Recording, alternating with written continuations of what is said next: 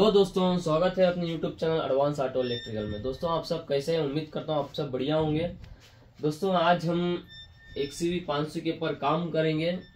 इसके अंदर एक बहुत अलग प्रकार का फॉल्ट है। तो मैं आपको ये बताऊँगा, ऐसे फॉल्ट आपको कभी दिखे और मिले तो ऐसा फॉल्ट आपको कैसे रिजोल्व कर सकते हैं?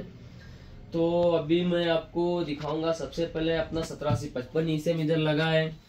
और दूसरा अपना एम बी एफ़ एम लगा है और तीसरा इसका एंटीना लगा है देख सकते हैं, इसको एमोप्लेजर हम नहीं कह सकते क्योंकि ये एंटीना है। और चौथा अपना ट्रांसपोंडर लगा है ठीक है? देख सकते हैं एडी फोर्टी सेवन वाला ट्रांसपोंडर है। अभी मैं मशीन के ऊपर बताता हूँ आपको। सबसे पहले पावर को ऑन करूँगा, दूसरा आपको इग्निशन ऑन करूँगा। ताले वाला लाइट ब्लिंक करा इमो का लाइट आ नहीं रहा है, ठीक है? आ ही नहीं रहा है। जैसे मैं इग्निशन को बंद करके ऑन करूँगा, ताले वाला लाइट आना चाहिए। इमो की कोडिंग नहीं है तो ब्लिंक होना चाहिए। तो ये जो है, इसके अंदर जो कंप्लेंट है, वो है एम बी एफ़ एम का। इसके कारण ये जो लाइट है, ये आ ही नहीं रहा है। तो मैं ये लाइट को अभी क्या करूँ? क्योंकि इसके अंदर जो फॉल्ट है, वो है एम का। बिना एम चेंज किए तो मैं इसको रिजोल्व कैसे करूँ? क्योंकि ये मुझे लगता है डेटा का फॉल्ट होगा। क्योंकि एक मेरे भाई का ईसीएम पूरा किट आया है। भाई, ऐसी दिक्कत आ रही है, करके दो, बोल के। तो अभी हम इसको रिजोल्व कैसे फॉल्ट को रिजोल्व कैसे करें, वो आज हम देखेंगे। सबसे पहले हमारे पास महिंद्रा का वी एक्स होना चाहिए। जो भी भाई के पास ये अवेलेबल नहीं है, वो हमारे पास अवेलेबल हो जाएगा और बेस्ट सपोर्ट के साथ मिल जाएगा। चलो, अभी टॉपिक के पर बताता हूँ। ताले वाला लाइट आ नहीं रहा है। अभी ताले वाला लाइट हम मंगवाएँगे। कैसे मंगवाएँगे? डेटा में कोई दिक्कत है तो मैं अभी आपको बताऊँगा। सबसे पहले तो मैं अपना वी एच का जो सॉफ्टवेयर होता है महिंद्रा का, वो सॉफ्टवेयर ओपन कर लेता हूँ आई फ्लैश ये वीडियो बहुत अच्छा होने वाला है और बहुत बेहतरीन, इसके अंदर आपको नॉलेजफुल वीडियो है। तो ये आप देखेंगे तो आपको मालूम पड़ेगा। देख सकते हैं वी एच हमारा कनेक्टेड है और J two three four five protocol है इसका, ये हमने ओपन कर लिया है। सबसे पहले हम इसको विन रीड करेंगे। विन रीड हो चुका है मॉडल रीड करेंगे मॉडल भी रीड हो चुका है। हम स्टार्ट करेंगे। ये काम हम मास्टर से भी काम कर सकते हैं। देखो इधर, हमारा थिंक टूल मास्टर से भी हम काम कर सकते हैं। तो हमने बहुत सारे वीडियो में बना लिया है थिंक टूल मास्टर से। प्रोग्रामिंग फ्लैशिंग कैसी होती है एमबीएफएम की।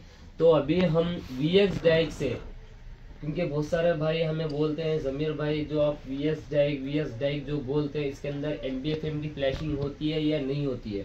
तो उन भाइयों के लिए हम लाइव प्रूफ आपको करके बताएँगे। ई सी एम तो होता ही है और एम बी एफ़ एम को भी हम आपको करके बताएँगे। तो ये ये जितने मॉड्यूल इसके अंदर कनेक्टेड हैं, ये सारे वेरिफिकेशन कर रहा है, जितने इसके अंदर ई सी एम एक्टिव में है। जितने इसके अंदर मॉड्यूल एक्टिव में वो इसके अंदर देखेगा। मेरा इग्निशन ऑन है।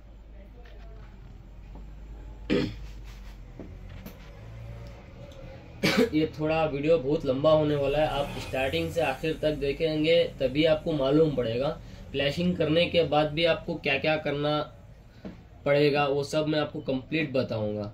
क्योंकि इसका जो काम करने के लिए थोड़ा मेथड और तरीका, दोनों अलग रहते हैं। देख सकते हैं, ये हमारा सॉफ्टवेयर ओपन हो चुका है, इसके अंदर दो मॉड्यूल कनेक्टेड है। एक तो ई एम एस यानी इंजन कंट्रोल मॉड्यूल और दूसरा एम बी एफ़ एम ठीक है, इधर देख सकते हैं ग्रीन टिक ग्रीन टिक का मतलब ये है, इसके अंदर मॉड्यूल जितने भी कनेक्टेड है, वो दिखाएगा। अभी मुझे ई e को कुछ छेड़छाड़ी नहीं करनी है, मुझे एम बी एफ़ एम के अंदर, क्योंकि ताले वाला लाइट मेरा आ ही नहीं रहा है तो एम बी एफ़ एम को मैं अभी फ्लैशिंग करके देखूँगा एम एम फ्लैशिंग करने के बाद क्या मेरा ताले का लाइट आएगा या नहीं आएगा। ठीक है, अभी मैं एम बी एफ़ एम को क्लिक करता हूँ ऑटो में जाऊँगा।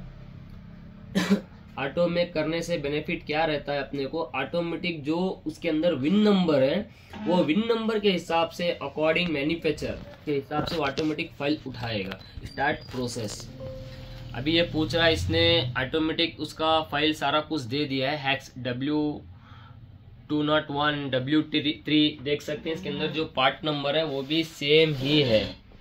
ठीक है, देख सकते हैं, इसका पार्ट नंबर भी सेम है, क्योंकि ये ऑटोमेटिक उठाएगा। तो अभी मैं करूँगा एस अभी मेरी जो फ्लैशिंग है, वो स्टार्ट हो चुकी है।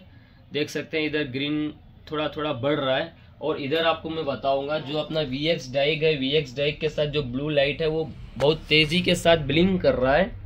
तो इसका मतलब हमारा जो फ्लैशिंग है, वो चालू है। इधर देखो, ये सर्वर से फ़ाइल डाउनलोड करेगा। सर्वर से फ़ाइल डाउनलोड करने के बाद ये कंप्लीट हो जाएगा। अभी ये मेरी प्रोसेसिंग चालू है। क्या ये हम करने के बाद हमारा काम रिजॉल्व होगा या नहीं होगा, वो हम देख लेंगे। क्योंकि इसके अंदर, इधर दिखो, इसके अंदर एक ईप्रोम ऐसी भी आती है, पच्चीस सी सोलह बोल के। तो वो ईप्रोम के अंदर भी आप डायरेक्ट इसका डेटा डालेंगे, तब भी ताले वाला लेट आएगा ही नहीं। तो सबसे पहले आप, आपको फ्लैशिंग करनी रहती है। इधर देखो। सबसे पहले मॉड्यूल को फ्लैशिंग करनी रहती है और उसके बाद ईप्रोम के अंदर डेटा डालना रहता है। डेटा डालने के बाद आप जैसे कोई भी प्रोग्रामर से आप की प्रोग्रामिंग करके काम में यूज़ में ले सकते हैं।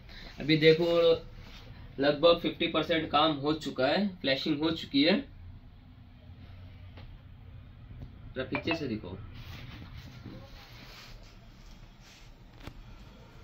पीछे जो पूरा। ये दो भी दिखना। 61 परसेंट हो चुका है। 70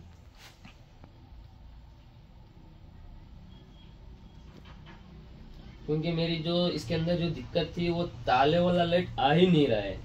आएगा नहीं तो गाड़ी भी स्टार्ट होगी नहीं। कम्युनिकेशन भी जो तुम्हारा है, ये कम्युनिकेशन भी शायद नहीं होगा।